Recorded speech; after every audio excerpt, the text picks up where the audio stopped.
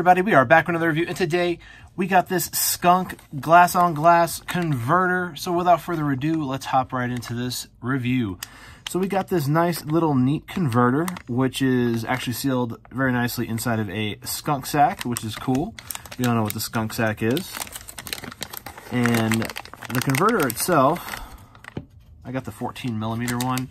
So here you go. There's the skunk brand converter. Turns your pipe into a cigarette cone holder, 14 millimeter.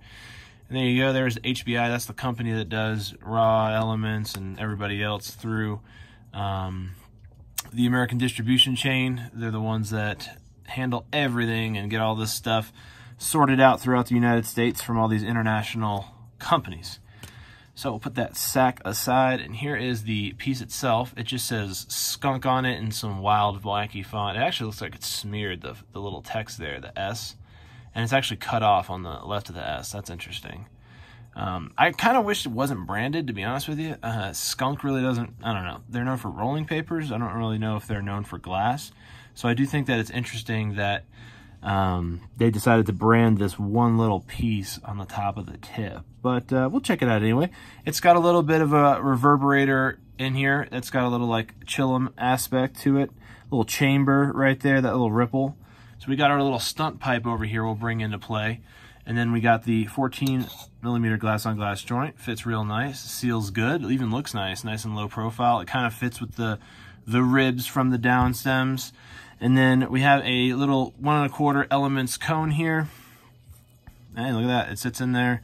Pretty decent. It's got a, you can see right in there, it's a, I don't know, it's not polished. It's like that, that rough glass on glass type finish on the inside, which has a nice grippage for the the cone itself. You could put also a cigarette in there.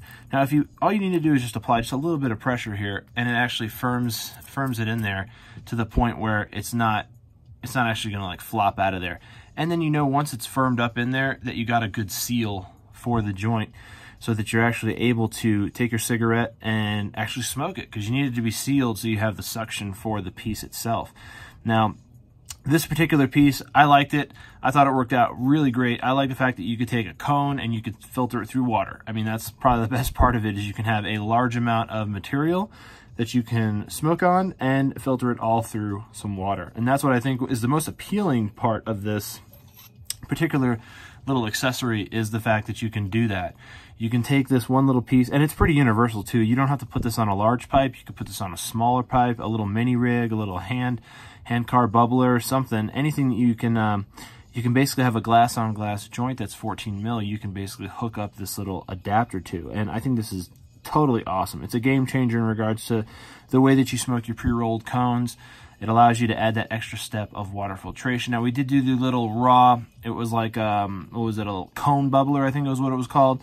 Um, that thing's neat. You got to have that with you at all times. What's nice is you can have this little uh, skunk adapter, this little 14 millimeter piece. You can take it, you can stick it in this skunk sack. It's not going to smell, and you can bring it with you. And instead of having to bring this little water bubbler that you have, that you have to keep water in it, and you have to make sure it doesn't break, you can have this, this little adapter you can toss into your little smoker's bag. And again, yeah, it says skunk. That's a little bit you know unattractive in regards to the branding. It would have been nice if it was just a nice, just industrial, clean glass on glass piece but it serves its purpose. The branding really doesn't matter.